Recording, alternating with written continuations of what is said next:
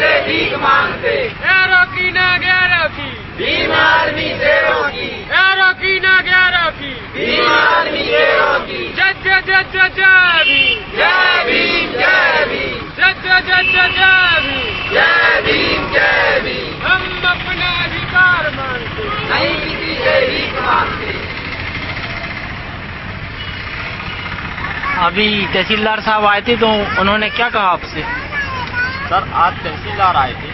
तो परिवार से बोल रहे थे जो देवरान वाला परिवार बैठा है। बोल रहे थे कि इतनी मांग तो हम लोग नहीं कर सकते। तो हमने उनसे कहा। हमने उनसे कहा, एक बात बताइए सर। सीएम साहब जब उपचुनाव में दमोह में आने जाने में करोड़ों रुपए बर्बाद कर सकते हैं, एक एक विधायक खरीदने में पचास पचास करोड़ रुपए दे सकते हैं। तो इस परिवार के लिए पाँच करोड़ रुपए की मुआवजा राशि कौन सी ज़्यादा है? भाई, अगर आप पचास भी दो तो भी कम नहीं है आपके लिए।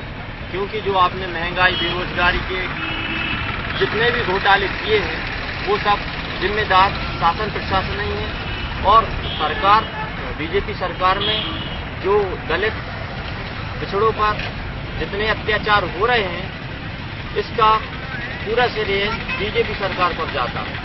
और यह परिवार चार दिन से दिन रात बैठता है, देवरान वाला परिवार बैठा है, पूरा बरवासी वाला परिवार बैठा है, इनके भी परिवार के कुछ लड़के जेल में हैं और जो अभी राजकुमार को गोली गली थी, उनकी आज छुट्टी कर दी गई है।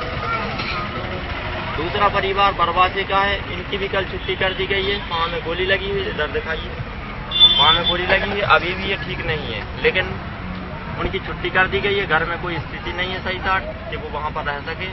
और जो सीएम योजना के अंतर्गत जो हमने मांग की थी कि इनके लिए कम से कम न्यू जमुई में जो खाली प्लॉट डले हुए हैं, वो इनके लिए कम से कम तीन तीन तीन भाई लोग हैं। तो इनके लिए एक एक प्लाट वहाँ पर दिया जाए। लेकिन शासन, प्रशासन द्वारा चार दिन से यहाँ पर बैठ रहे हैं, लेकिन कोई भी आदेश नहीं आया, ना ही कोई तहसीलदार ने आज हमें बुलाया था तो हम लोग वहाँ पर गए थे। बोलने लगे कि कलेक्टर साहब से आकर मिल लो वहाँ पर गए तो कलेक्टर के बाहर जो वॉचमैन थे, उन्होंने बेइज्जती करके भगा दिया।